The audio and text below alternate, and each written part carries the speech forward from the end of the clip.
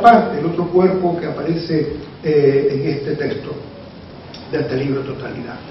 El segundo de los cuadernos recurre a la historia, recurre a la historia, eh, la muy vieja y la más nueva, pero ambas la historia, la de los hispanos en que vivimos en esta parte del mundo, en la Florida, sobre todo los cubanos que desde hace mucho tiempo y ya en el siglo XIX nos hemos desplazado a esta tierra y aquí hemos echado raíces.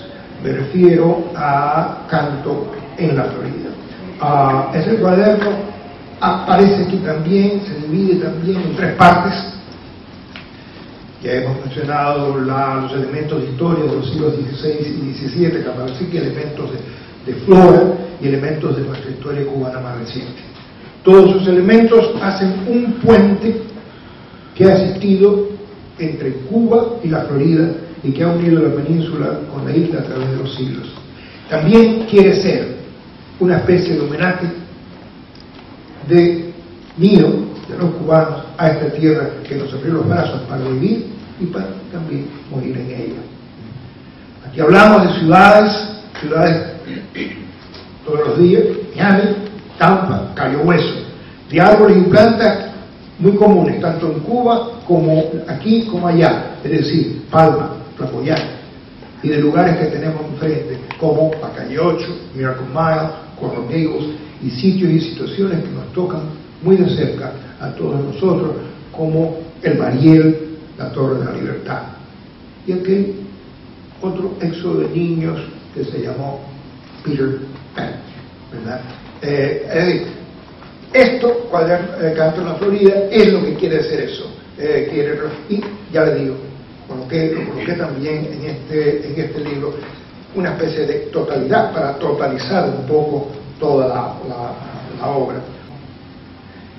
¿Qué sucede con este libro? Pues sucede con este libro eh, algo, a mí me gusta mucho traer la, historia de colación, entonces ustedes se van a la, a la Florida del Inca.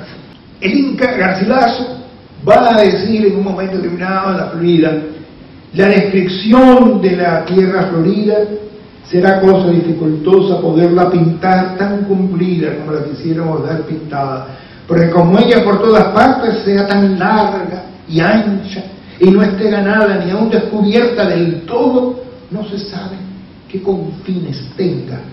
Lo más cierto y lo que no se ignora es que el mediodía tiene el mar océano y la gran isla de Cuba. Ya empezamos a hacer ese puente. Eh, eh, ahí está, Cuba está ahí. Y la Florida está aquí. Ya empezamos a hacer ese puente que existe y que existe ahora en este momento y que quiero traer a colación, ¿verdad? este poema es la Florida. Son poemitas todos pequeños, ¿verdad? Muy pequeñitos, que dan la impresión, mi impresión de este lugar, de los lugares que voy mencionando. Florida, cerca del mar, mar de un lado y de otro lado. Al mar le puse labios de tu cara, manos de tu pecho, la fortuna de saber de tu alegría, aquella que fue un día y tuvo un nombre como flor, y sin saberlo, todo el sol que entonces se bebía tu ventura. Flor, isla, florida, la risa de tu boca entera. ¿Qué pasaba también en época? Lo que pasaba aquí, por eso en un momento determinado el Inca nos va refiriendo eh, esto que dice él, sobre, que habla de la lengua, esto se llamar la lengua, ¿no? Son 20. Y dice el Inca, en este paso, añade Juan Coles que no acertando Juan Ortiz hablar castellano, hizo con la mano y el algo la señal de la cruz para que el español viese que él era cristiano, porque con el poco o ningún uso entre los indios había tenido de la lengua castellana, se le había olvidado. Este es otro puente, el puente de la lengua, que en un momento determinado existió y había un señor que se metió entre los indios, como este Juan Ortiz, que se le había olvidado hablar español, porque vivía aquí en la Florida.